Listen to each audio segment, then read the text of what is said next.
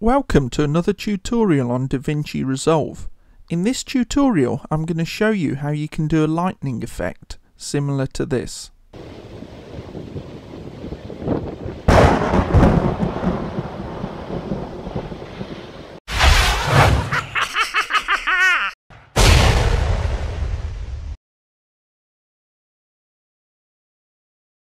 The first thing you're going to want to do is search Google for lightning photographs and pick one that you want to use.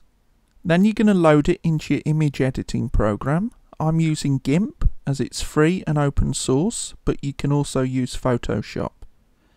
Then you're going to go to your Magic Wand tool.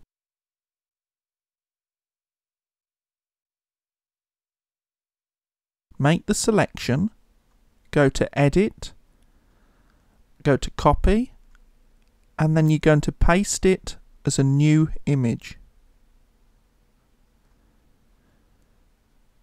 Now you can go to your eraser tool and you can clean up the image a little bit if you want to.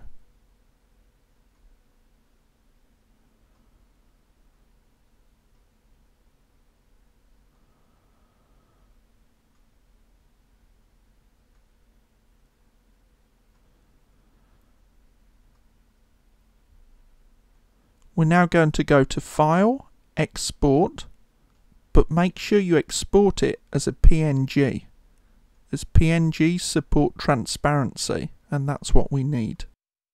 You're now going to want to import your lightning bolt image into Resolve and whatever other video you want to use in your project.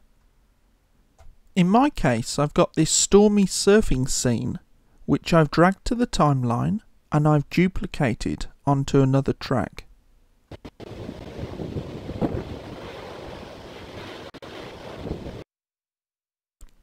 We're going to start by dragging the lightning bolt that we made in GIMP to the timeline and then we're going to resize it to however many frames we want. Like 5 or 6 frames should be fine. We're now going to scroll along the timeline and see exactly where we want to put the bolt of lightning. I think around here should be fine. So we drag the bolt to where we want it. And you can see we need to change the position. So we just go to the position in the inspector and we put it on the horizon there. That should look okay.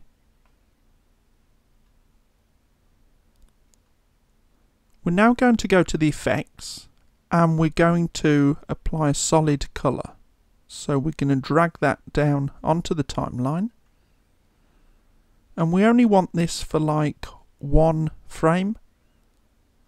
Let's just zoom in there so we can see what's going on. In the inspector, we're going to change the colour to white. And we're going to copy and paste that so that we have four copies.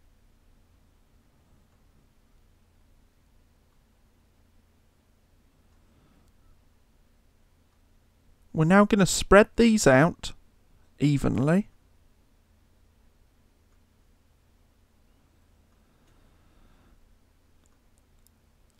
And you can see that's kind of created a flash effect.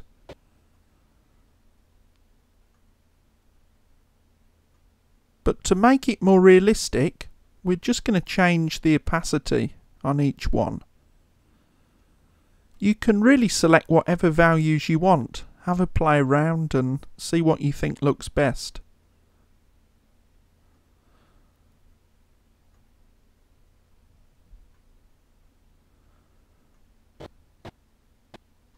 And that looks a little more realistic. I wouldn't worry too much because it happens really fast on screen and you're not going to notice detail. We're now going to go to our video on the next track down and trim it so that the only part remaining is the section underneath our lightning effect. To trim it, we press Ctrl B at the playhead position and delete the respective segments.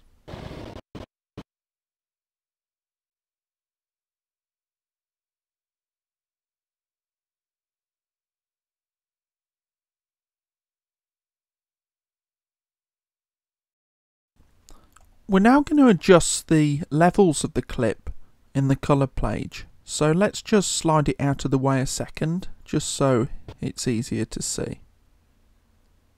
So we go to the colour page. And at the top of this line here, you're just going to drag it to the left. By doing this, it should enhance our lightning look. We're now going to drag our clip back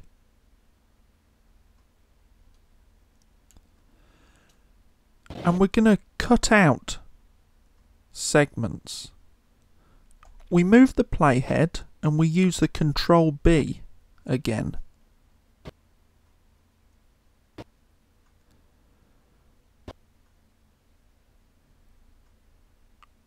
We're now going to delete the segments under the white colour.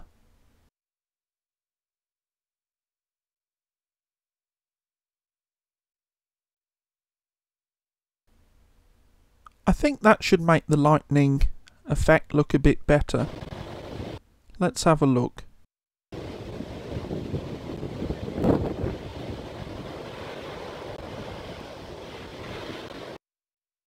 One thing I think you'll agree on is we need some sound effects with that. So let's grab a lightning sound and line it up on the timeline with our action.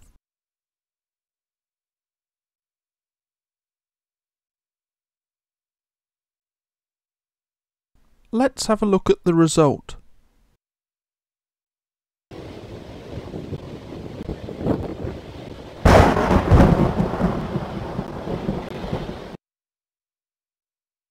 I think that looks pretty cool, but I really encourage you to experiment with the various settings as I only made this very quick video for demonstration purposes. Have a play about and see what works for you. That's the end of this video, but please don't forget to comment and subscribe and let me know what you want to see next.